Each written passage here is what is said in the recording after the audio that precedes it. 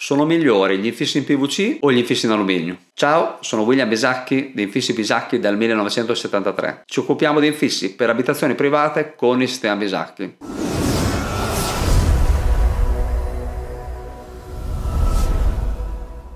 Per rispondere a questa domanda dovrei vedere prima di tutto il tuo progetto, quindi le dimensioni, come sono esposte le finestre, quindi i punti cardinali e dovrei chiederti quali sono le tue priorità, ad esempio se è l'isolamento termico, se è l'acustica, se è mm, la luminosità, se è la sicurezza anti-effrazione. Ci sono tante cose che a seconda delle tue risposte vanno poi a farmi preferire di consigliarti un infisso in PVC piuttosto che un infisso in alluminio. È un po' come l'esempio che faccio sempre nel mondo delle auto. Non è che è meglio una cabrio o è meglio una SUV, dipende dalle tue esigenze, se è una seconda macchina, in quanti siete in famiglia, il tipo di strade, se ti serve 4x4, se non ti interessa niente. Quindi anche negli infissi non esiste questo praticamente questo limite netto tra infisso PVC e infisso in alluminio. Di base l'infisso in PVC è un infisso che se non ha dimensioni molto grandi può funzionare, può costare meno inizialmente, un serramento in alluminio, un serramento che ha più resistenza nel tempo e anche più resistenza meccanica che mi permette di fare aperture più grandi. Un profilo in PVC è più caldo al tatto, un, alluminio rimane più freddo ma è solamente una sensazione perché se vado a guardare la prestazione termica di un buon infisso in PVC e un buon infisso in alluminio sono abbastanza simili come valori anche perché un infisso con un vetro fatto come si deve e la parte predominante è il vetro con la cannellina termica, col gas argon magari ho 2 metri quadrati di vetro e 0,20 25 metri quadrati di profilo termico nel caso dell'alluminio e il PVC invece già termico di suo, capisci che le prestazioni sono abbastanza simili. Poi subentra la durata nel tempo, la manutenzione e in queste cose un materiale è meglio dell'altro. Quindi per arrivare a rispondere alla tua domanda